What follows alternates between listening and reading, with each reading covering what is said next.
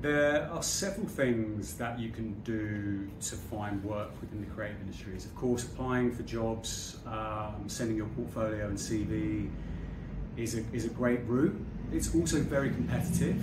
Uh, my recommendation to anyone that's starting their career or pivoting into a slightly different um, area of the creative industries is to make connections. A really great way of doing that is making a list of 50, 100 small companies that you think you could work with, particularly with the design software skills and portfolio that you've built.